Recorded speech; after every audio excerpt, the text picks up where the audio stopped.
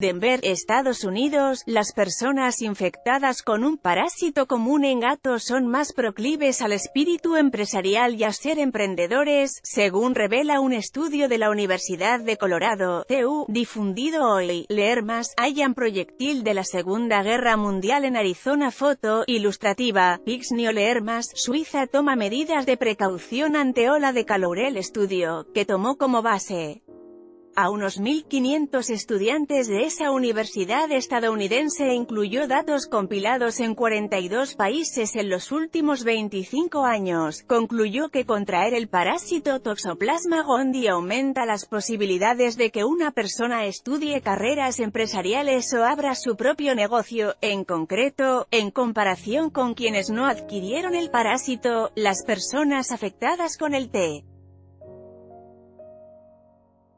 Gondi son 1,4 veces más proclives a seguir una carrera de negocios durante sus años universitarios, 1,7 a llegar a puestos ejecutivos y 1,8 a ser dueños de sus propios negocios, de acuerdo a la investigación, a modo de efecto adverso, el parásito, que se estima afecta a unos 2.000 millones de habitantes del planeta, se asocia con conductas impulsivas y de riesgo, entre ellas casos de enojo en las carreteras, neurosis, abuso de drogas, suicidio y problemas de salud mental, sobre cómo un parásito puede impulsar a alguien hacia los negocios. Stephanie K.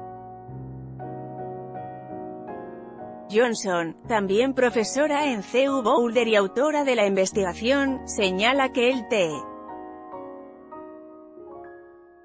Gondi reduce el miedo racional, y por eso se reduce el temor al fracaso. Foto, ilustrativa, PX Here. A los humanos nos gusta pensar que estamos en control de nuestras acciones.